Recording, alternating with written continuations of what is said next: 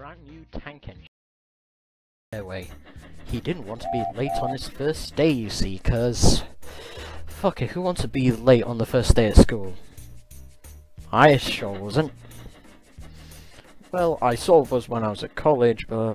Fuck it, you all know the drill. He didn't want to be fucking late. Ah, right on time. Thompson, Emma, this is Matthew, the pannier tank engine. I bought him from the Great Western Railway. He will make a perfect addition to the railway, and I'm also going to help around to shunt coaches and trucks as well. Hello there, nice to meet you, Thompson and Emma. Well, it's nice to meet you too, Matthew. But Emma had other things to think about Matthew. And what she didn't know, these would offended him. Sir, with all respect, but he has no cap. I never thought I'd say this, but I never trust capless engines. Why did you have to be so rude? What are your feelings to you? Hmm. Right. Emma, a word with you later.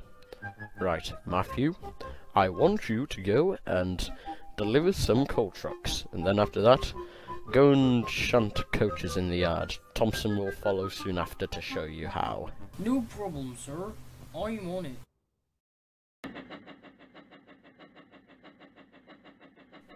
Later, Thompson went to see the controller. The controller had a surprise for him. Ah, hello, Thompson. Look at the surprise next to you. Oh, hello, little Thompson. hello, Thompson. Oh, it's good to see you two again. We have two new engines. Mm, yes, we saw the Pannier earlier. He was very nice. Great Western, is he? And also that Fowler. I heard that.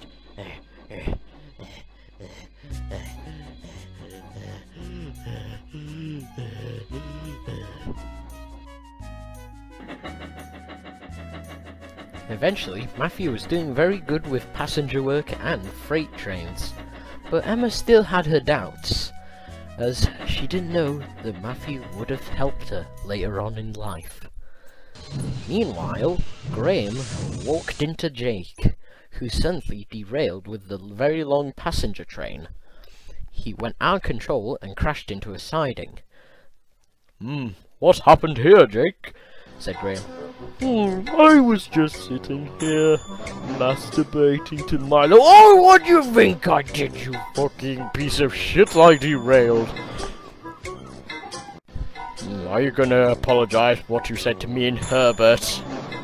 Before, when we were at the works, Thompson told me that you said we both were gay for each other. What? No, no, no. He has witnesses, Peter. Okay, I'm sorry. Hmm, that's settled then. Right. Me and Herbert will continue taking your passenger train and bring you back on the rails.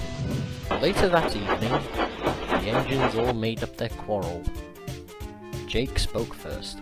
Hmm, thank you, Graham and Herbert, for helping me out of that situation. No problem. If you want anything from us, just ask. I know, let's be friends. Yes, let's be friends. Friends for life.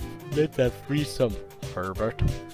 If you become very retarded later on in this series, then we'll get criticized. And that's a no-no for Z Mark Anthony. The next day, the controller came to see Emma. Emma, I have a job for you. I want you to take a goods train from the harbour to the wharf, and you might need another engine to help you. And then he left to sign some papers in his office. Well, Emma, looks like you will need help with that goods train. Like I would want no cap. Then Emma was off to the harbour. And after that she made her way to the shunting yards with the train. And something fortunate had happened. Suddenly they stopped. Oh dear, mm, said the driver.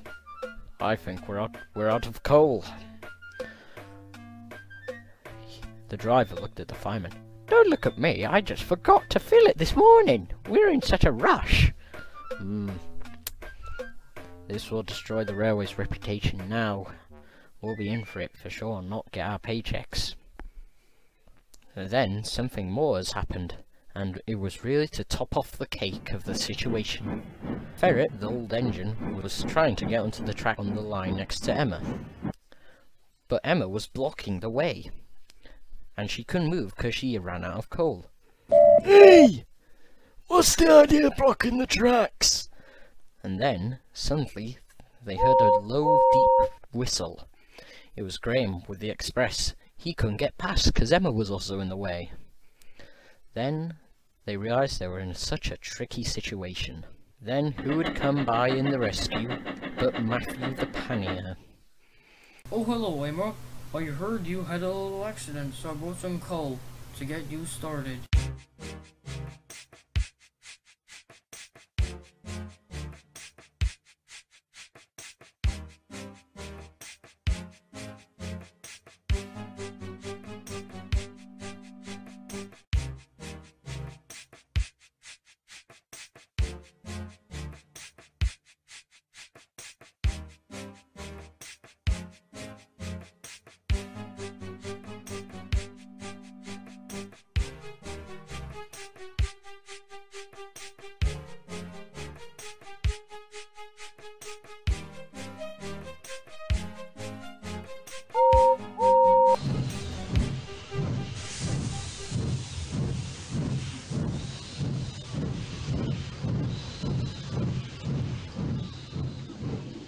Then after that, Graham has dropped the passengers off at the station, and then Matthew pushed the train that Emma was pulling all the way to the shunting.